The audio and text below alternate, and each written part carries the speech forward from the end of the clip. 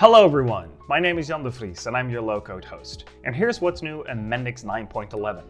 We've got some widget updates, some data hub improvements, but let's start with the one thing you've all been waiting for, dark mode.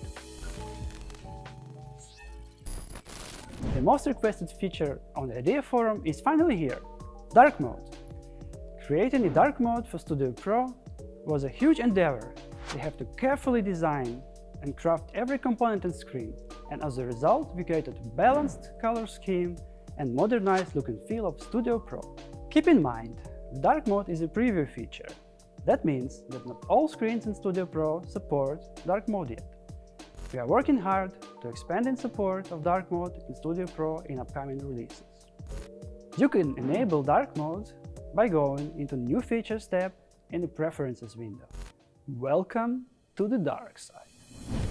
We have some exciting widget news this month with updates to the rich text editor, carousel and color picker. All three have improved configuration, new design options and features built in. We can't wait for you to try them out. Check them out today in the marketplace. The last widget update is small but powerful one, introducing the new between functionality for date filtering for Data Grid 2 and Gallery.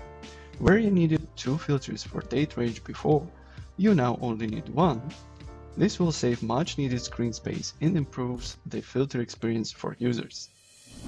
Registered data sources can now be deleted from the Data Hub catalog. This will help keep your catalog clean and up to date with the latest sources for developers to use. Deleting data sources can only be done by company admins, Data Hub curators and application owners. We've also improved our contract registration experience in the Data catalog. When registering new OData contracts that contain errors that prevent you from using the contract in Studio Pro, we now show descriptive error messages that tell you the specific errors that need to be fixed before registration is possible. This makes resolving these errors quite a bit faster. Moving on from Data Hub to OData, for OData entities that are updatable, you can now provide a microflow to validate proposed updates before the object is saved in the service. This allows you to add validations that are too complex for the entity validations. You can see here that you can now select which action you want to take when a changed external entity is sent to an OData API.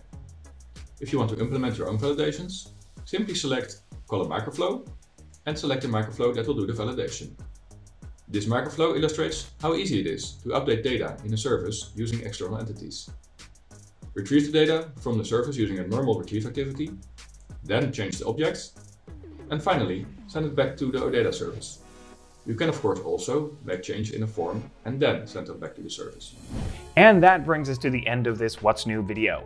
For a full list of new features, improvements, and fixes, check out the release blog on mendix.com blog or read the release notes on docs.mendix.com.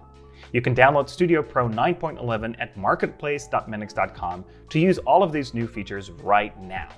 If you've enjoyed this video, I hope we've earned your like and subscribe. I'm Jan de Vries, your low-code host, and I'll see you at the next release.